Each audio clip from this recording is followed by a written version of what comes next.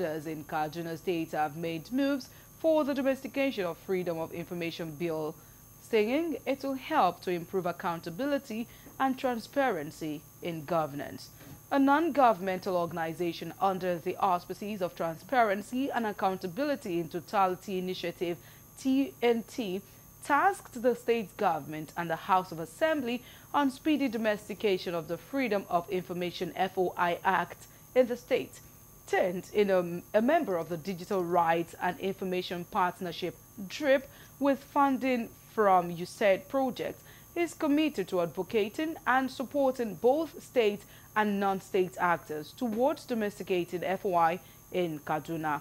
While fielding questions from newsmen, the stakeholders reiterated the need to ensure the right steps are taken towards achieving what they call a milestone.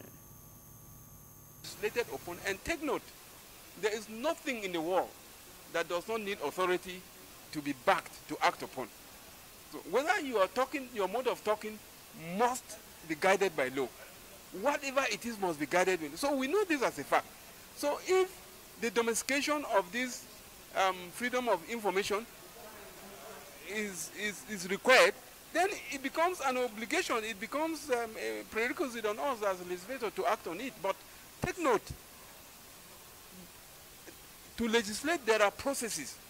Those processes must be followed to the letter. Rules are meant to be obeyed. In the first instance, the previous administration, up to the last gap before the uh, expiration of uh, the tenure, we were optimistic that uh, the will secure the passage, uh, looking at how committed the, the governor is to the passage of the bill. But uh, unfortunately, we could not uh, get the, pass, the, the bill passed. But looking at the kind of stakeholders that we have here and the commitments that we have from there, I think uh, in no little time we will have uh, maybe a further action on which introducing the bill. For the milestone of passing that bill, it was not possible.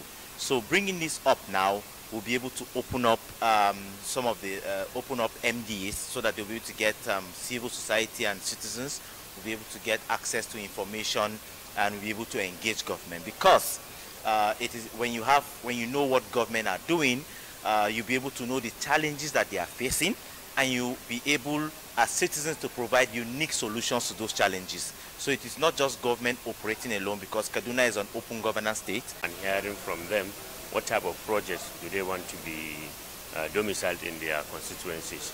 We are talking of community-based projects.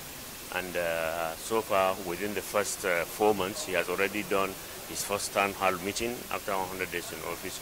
So all these activities are, is a display of showing that the governor has a commitment of being open and transparent as he governs the state.